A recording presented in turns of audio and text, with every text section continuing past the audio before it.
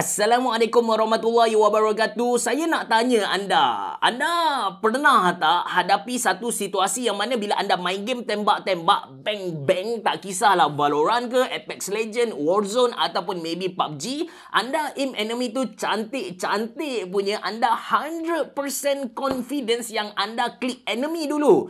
Tapi apa yang berlaku ialah anda mati. Enemy hidup dengan girangnya. Anda fikir macam, Maybe masalah internet ko. Anda pun check connection internet rumah anda. Ping rendah lepas tu speed pun laju. 300 megabit per second. So tak mungkin lah masalah internet kan. Dan sebenarnya bila kita sebut tentang lagging ni. Selain dari lagging internet. Ada satu lagi lagging yang anda kena tahu. Iaitu lagging sistem tu sendiri.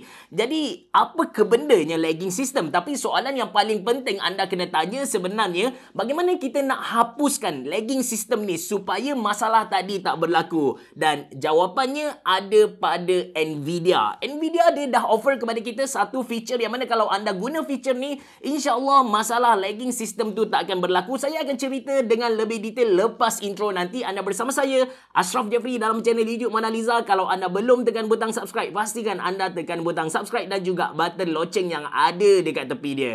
Jom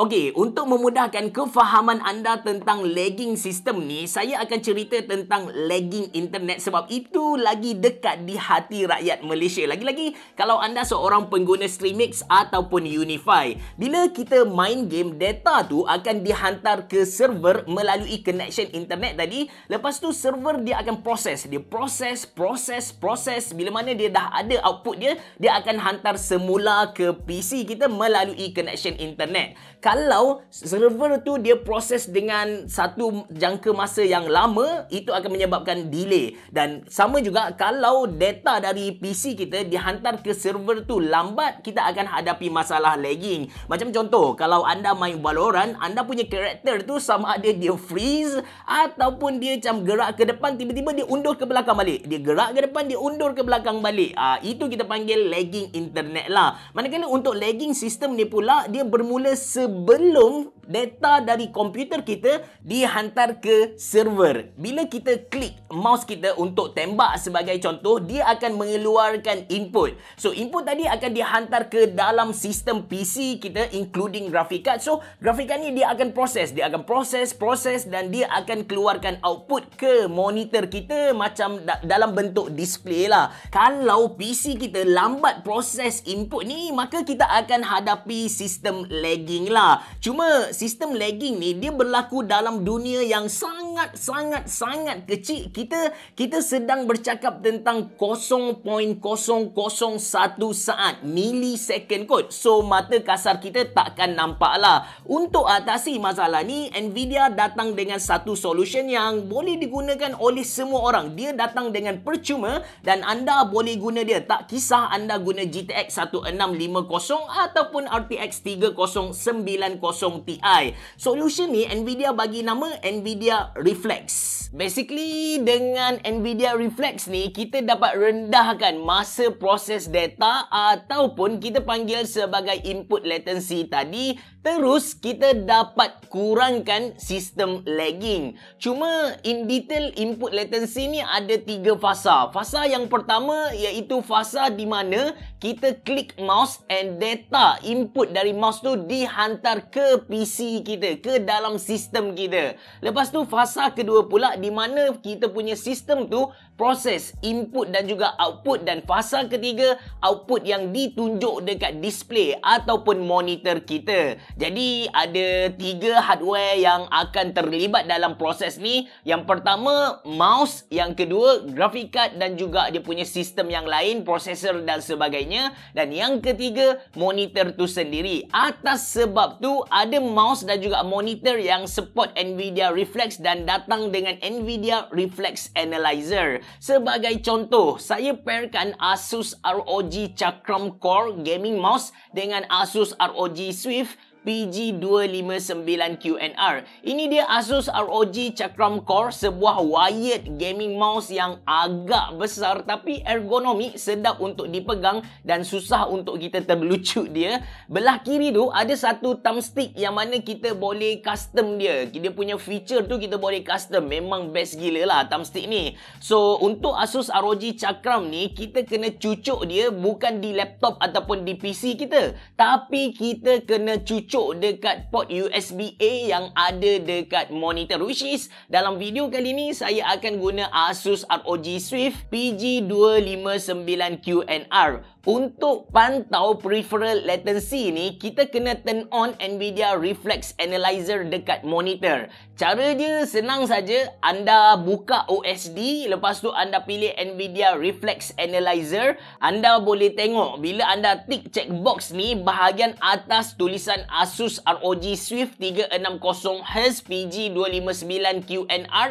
dia akan bertukar kepada mouse detected. Dan status refresh rate dan juga peripheral latency ni akan keluar dekat belah kiri atas monitor kita. Alright, settle fasa yang pertama iaitu peripheral latency. Sekarang kita nak pantau render dan juga display latency. So, kita perlukan graphic card Nvidia tak kisah graphic card yang rendah macam GT 710 ataupun yang bakal keluar nanti RTX 3090 Ti. Kemudian kita perlukan sebuah monitor yang support Nvidia Reflex. Macam contoh Asus ROG Swift PG 259 QNR. Ini ialah sebuah Full HD gaming monitor dengan 360Hz refresh rate, 1ms response time, ada Nvidia G-Sync untuk elakkan tearing dan juga ghosting, kemudian ada Nvidia Reflex Analyzer. Kalau anda seorang competitive gamer, saya highly recommend anda untuk beli monitor ni sebab yang pertama resolution full HD dengan size screen 24